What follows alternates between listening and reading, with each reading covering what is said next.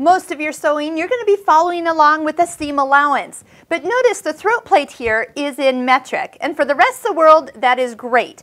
But for Americans, we don't always know our metric to inches conversion.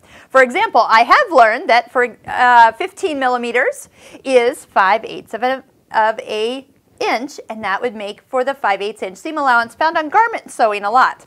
Now, if that is something that you're just not fond of, you can purchase from your local Husqvarna Viking dealer an American throat plate. And so it has the inches on there. So that is purchased separately and it's ready to go. Another thing too is if you are purchasing a straight stitch throat plate, now you'd only be able to use this for straight stitching. It does have both inches and metric on it.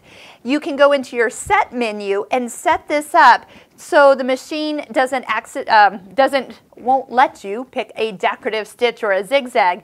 It will limit all stitches to a single center needle position straight stitch so you don't ever break a needle, which is nice. Another thing that you can purchase for this machine is a seam guide. If you have purchased a walking foot, the seam guides from the walking foot will fit in as well. So what you're going to do is just slide it here into the back and then set it up for the settings that you want it to be. So if you want to do a seam that is maybe two inches, you can measure that out to two inches, and then when you go to sew, your seam will be exactly two inches away from the fold. And you don't have to mark it. So same thing, if you wanted to sew multiple lines evenly down the fabric without having to mark it, that's really where a seam guide is, is handy here. So let me show you if I wanted to do another row, maybe an inch apart, okay, so I can set that, and then just go ahead and lower the presser foot, slide that over, and then just keep your eye on the guide here.